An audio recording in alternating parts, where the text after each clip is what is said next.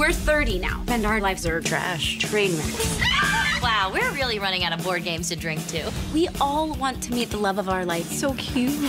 But the world is not that simple anymore. We're not a couple anymore. Can you guys really just turn it off like that? Hmm. Your dynamic is incredibly sensual. Yep. what are we laughing at? We're just razzing our friend because she's dating an old guy. Yeah. I believe that's me. oh, what? Listen, everyone be cool and chill. Just like me. Cool and chill. Let me hear you say it. What am I?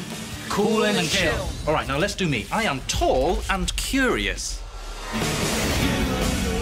We may not have been perfect. I'm doing it! I'm turning left! One way street! Ah! Time to push! We may not have had it all figured out, We're both crazy. We're insane. but at least we had each other. We work well together.